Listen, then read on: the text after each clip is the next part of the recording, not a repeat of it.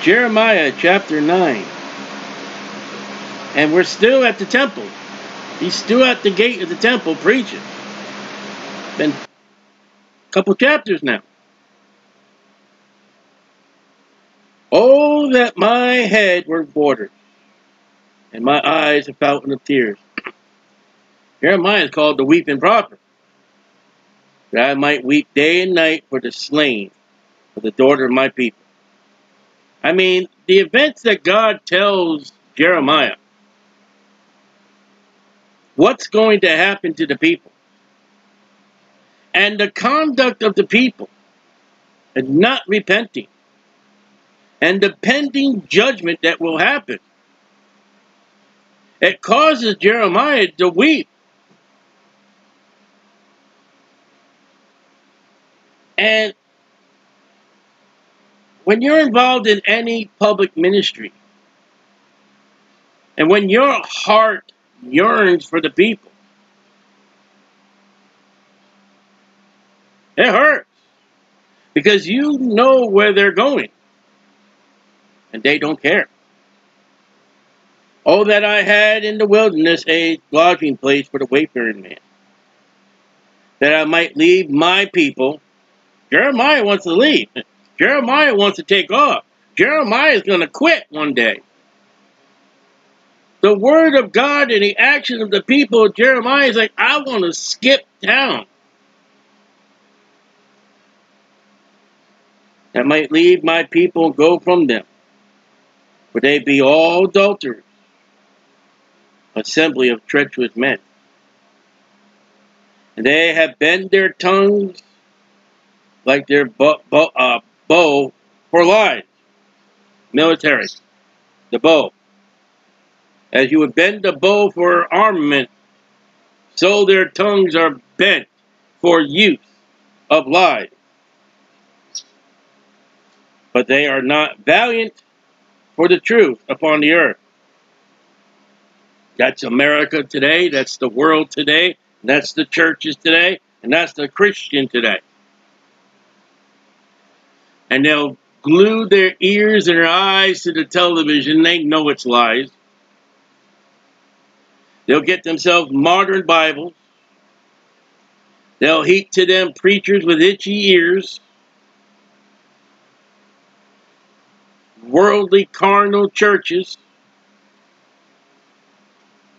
And in the time of the truth, they took the truth and nailed it to his cross. Paul ventured out and started churches as a missionary, and, and the churches have I become your enemy because I speak the truth. I know that feeling for they proceed from evil to evil. And they know not me, saith the Lord.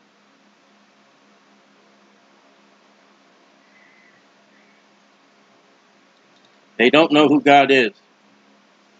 And yet there's the temple. There's the, Jeremiah, go to the temple, go to the gate of the temple. They're going to religious. They're doing the acts, they're doing the temple and they don't even know who God is. And there are people who go to church on Sunday morning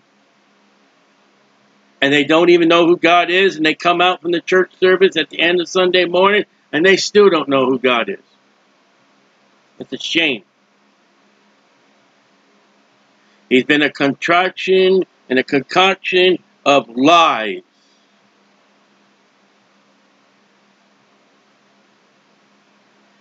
Take ye heed every one his neighbor. Trust not in any brother, for every brother will utterly supplant. That was Jacob's name. Jacob meant supplanter. And every neighbor will walk with slanders. You are in a time of Jeremiah that God says, don't trust your neighbor. He'll lie. If the price is right, he'll sell himself out. There's coming a time when the Antichrist comes with the mark of the 666. People will sell you out if you don't have that mark. They will deceive everyone his neighbor knows the word deceive that's going to show up. And will not speak the truth. They have taught their tongue to speak lies, educated the tongue. There are people who go to universities and colleges and learn how to lie. And the media does that. And the media's always done that.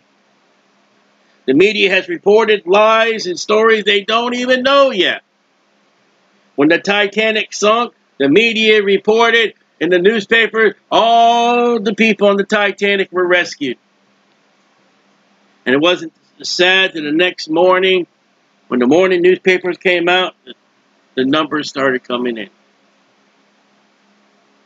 Why didn't you shut the newspapers up? Why didn't you put them down? Why don't you say, you bunch of liars? Even President Donald Trump during his term has called them fake news. They're liars. They've been liars since the Civil War. They've been liars. That's their business. Because they want to sell advertisement. And they're sure not going to print the truth.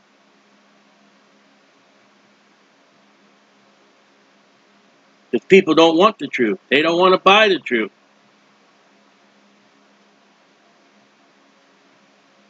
And weary themselves to commit iniquity. There are colleges, there are Bible, there are Bible colleges and seminaries. And all they do is teach lies and iniquity. Students go in King James and they come out perverted.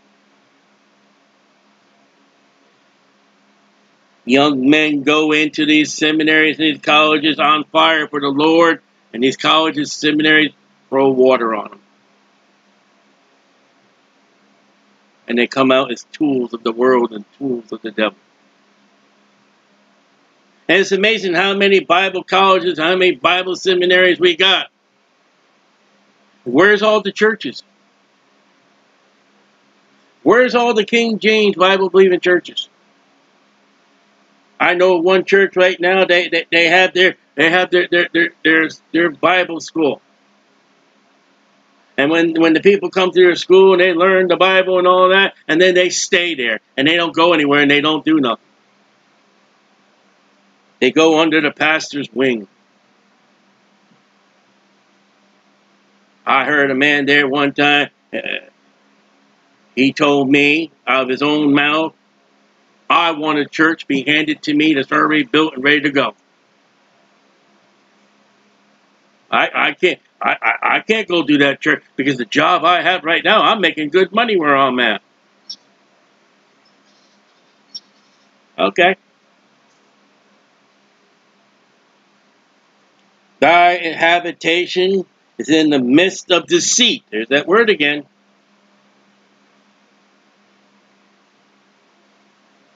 They deceive everyone his neighbor, and they live in deceit. And that could be your church house. That could be any denomination. You could have a worldly pastor, preacher, Sunday school teacher, or you could have the devil himself minister.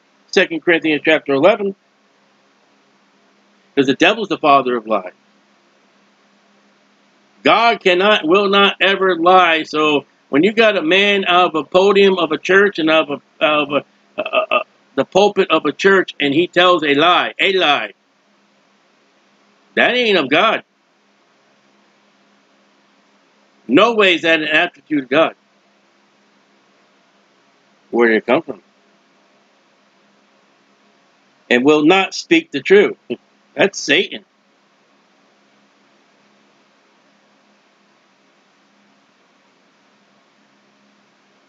They have taught their tongue to speak lies, weary themselves to commit iniquity. Their whole realm is sin. Thy habitation is in the midst of deceit. through deceit, they refuse to know me, saith the Lord. So they don't want to know God because they are happy with deceiving. And there are, again, in the churches, there are people who are not going to know God because they want to be deceived. They want, if I give God a dollar, he's going to give me 10,000. And if I go to church, that's what that's what my salvation's going to be. We've got the world's greatest world's greatest church. We got the greatest best pastor. We're rich. We're wonderful. We're great. And they don't know the truth of Revelation chapter 3. You're poor, miserable, naked, wretched. And I'm standing outside the door knocking. You're Ichabod. And there are some Christians, uh, what do you, is that Greek?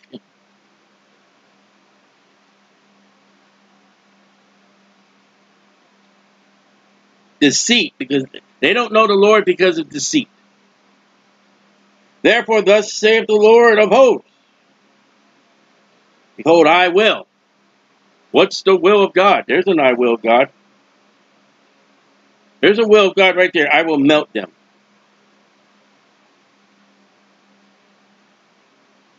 And tr try them. For how shall I do for the daughter of my people? We're going to find out who's true and who's not. Their tongue is an arrow shot out. Said their tongue was like a bow, verse 3. Their tongue is likened to a bow and arrow. And bow and arrow is the sport and for destruction. It speaketh deceit. Is that word again. You know, the Bible says that we're going to get a new name in glory. And if we were to get a new name on the character that we were on this earth as Christians, deceit, deceitful, I wonder if there would be names like that given to Christians in glory. You see, in the churches today, and that's what I'm looking at with Jeremiah, I'm bringing it to up to date. What are some of the deceits of the churches today? Run to Malachi and give your money to the church. And then you then you turn around and tell your, your congregation you're not under the law. But you run to a book that's in the law. You run to Matthew for doctrines, and Matthew has nothing to do with the church age. Now, you can spiritually apply. You can rightly divide, but Matthew's written to the Jews.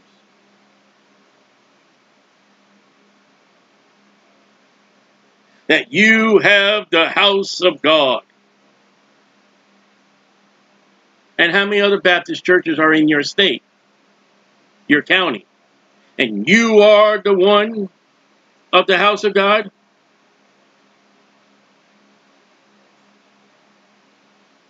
You got modern Bible? You got any Bible but the King James Bible? That's deceit. You got no Bible? That's deceit. You got a, a, a pastor, preacher, educator that gets up before the church he's number one. That's the seat.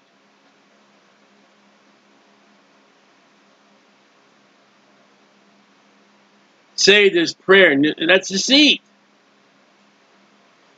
All eyes closed. I see that hand, and there's no hand. Deceit. Therefore, thus saith the Lord of hosts, Behold, I will melt them and try them. For how shall I do for the daughter of my people? Their tongue is as an arrow shot out. It speaketh deceit. One speaketh peacefully unto his neighbor with the mouth, but his heart lieth in wait. Out of the mouth comes peace. But out of the heart comes damage, destruction, war. He's a hypocrite. He's a hypocrite. That's what a lot of these peace treaties are. This is what the Pope is. This is what the United Nations are. They say, they say something, and what they do is something totally different. Your politicians are like that. They'll say anything to get in office. Then once they get into office, they do totally different. Shall I not visit them for these things? What the what thing? For the deceit. You're not going to get, get away with deceit. There's a visitation and the visitation upon the children of Judah is Jerusalem will be in flames, the walls will be destroyed, and the temple will be taken down. And all the idols will be taken to Babylon except the ark. I mean, come on. It'll be mentioned that uh, Boaz, and I forget the other name of the, of the of the column. And God didn't mention the ark.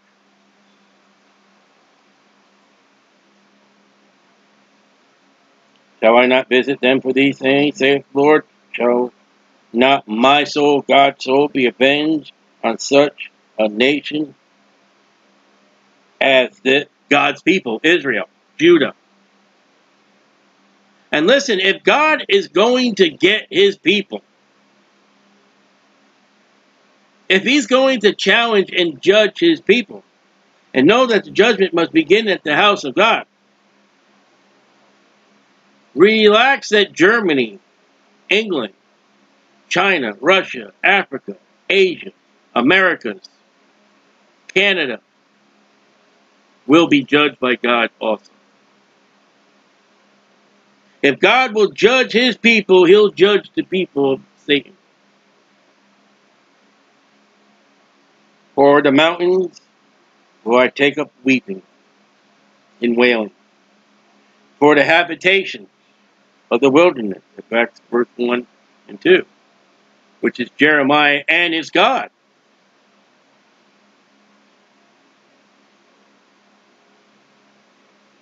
God is weeping for what the children of Israel and their condition are in Judah. That what he has to do.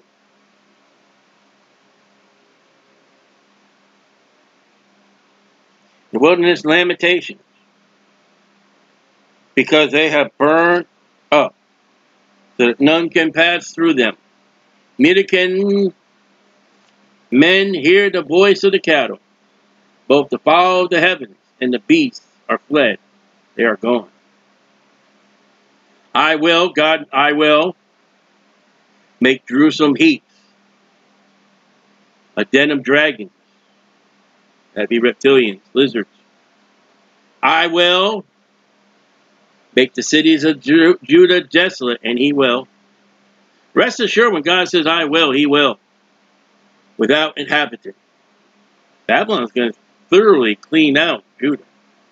Who is a wise man that may understand it? Jeremiah, to a point. Those that study to show thyself approved unto God, a workman that needs not be ashamed, rightly dividing the word of truth. Sure not the deceivers. And who is he to whom the mouth of the Lord has spoken? Jeremiah, Isaiah, Habakkuk, that he may declare it. For what the land perished is gone, and is burned up by the wilderness, that none passeth through. And the Lord saith, Because they have forsaken my law, Jewish, Judah, which I set before them, and have not obeyed my voice, and neither walked therein, but have walked in imagination of their own heart, religion, their own doings, gods, imagery, idolatry after Baalim, multiple gods, which their fathers taught them. Fathers taught them the wrong thing. So the fathers are going to be held responsible. Therefore, thus saith the Lord of hosts, the God of Israel Behold, I will feed them, even this people, Israel, with wormwood. That's a tribulation. That star that comes down, wormwood, and give them water of gall to drink. That's what they gave Jesus. Also going to get when Babylon comes. I will scatter them among the heathen. They're going to go to Babylon. Daniel's going to Babylon. Ezekiel's going to Babylon, whom they, who neither they nor their fathers have known. I will send a sword, war, after them, till I have consumed them. Thus saith the Lord of hosts, Consider ye, call for the mourning women, that they may come. These were women that were paid the week. They may come and send for the cunning women, skilled, that they may come. And let them make haste, hurry up, and take up a wailing for them, that's their job, that our eyes may run down with tears and our eyelids gush out with water. Be a time of sorrow, gonna be a time of weeping. For the voice of wailing is heard in Zion, Lamentations. How are we spoiled? We are greatly confounded, because we have forsaken the land. They have not done the Sabbath. They're gone away into captivity because our dwellings have cast us out. They're going out of the land. Yet hear the word of the Lord, O ye women. Let your ear receive the word of his mouth. And teach your daughters wailing. And everyone his neighbor lamentations. Teach sorrow teach tears, keep crying. It ain't going to get better. For death has come up into our window and has entered into our palaces, kingly homes, richly homes. Just like the night when the death angel went through Egypt. To cut off the children from without and a young man from the streets. There'll be death everywhere. Speak, thus saith the Lord. Even the carcasses of men shall fall as dung upon the open field, as a hand handful after the harvestman. None shall gather. None's going to bury them. They're not going to bury them. And a burial is important for the Jew. Thus saith the Lord, let not the wise man glory in his wisdom, and you scholars knock it off. Because you had so much wisdom, you didn't see the judgment of God coming. You didn't even know who God was. You wouldn't listen to Jeremiah. Neither let the mighty man glory in his might, because the armies of Judah are going to be defeated by the armies of Babylon. Let not the rich man glory in his riches. He's not going to have his riches no more. The wise man don't know. The mighty man loses his might, and the rich man going to lose his riches. Almost pictures a man in hell. You're so wise. What are you doing in hell? You're so mighty. All right, fight the forces of hell. You can't. And the rich man in hell, he had he didn't have his riches. They were gone. But let him that glory, all right, you want to glory? Glory in this, that he understandeth and knoweth me, God. If you know God, and you understand God, and God knows you, Glory in that. The disciples came back. Oh, the devils are subject to it. Oh, look at all the healing we did. Jesus said, Glory not over that, but glory that your name is known in heaven. I am. I am the Lord. That's in a particular expression. That exercise loving kindness, judgment. See, the liberal don't like the judgment. The liberal will have loving kindness in their race judgment. And righteousness. Righteousness has loving kindness, and righteousness has judgment. In the earth, for all these things I delight, saith the Lord. God delights in loving kindness, God delights in judgment, and the God delights in righteousness. Behold, the days come, saith the Lord. I will punish all them which are circumcised, Jews, with the uncircumcised, Gentiles, and Jews who have not obeyed the covenant of Abraham. When Joshua came out, came into the land, he had to circumcise them because they had not been circumcised in the wilderness. Egypt, Judah, Edom, children of Ammon, and Moab. Egypt, that we know Egypt, Judah, Abraham, Isaac, Jacob, Edom, that's the brother to Jacob, Ammon and Moab, that's the children of Lot, uh, Abram's uh, nephew, I think it was. All that are in the uttermost corners that dwell in the wilderness for all these nations are uncircumcised. Notice Judah. Judah had the covenant of circumcision, not of the heart. And all the house of Israel are uncircumcised in heart. Though they had that operation in the heart, they were not circumcised. And with the heart, man believes unto righteousness.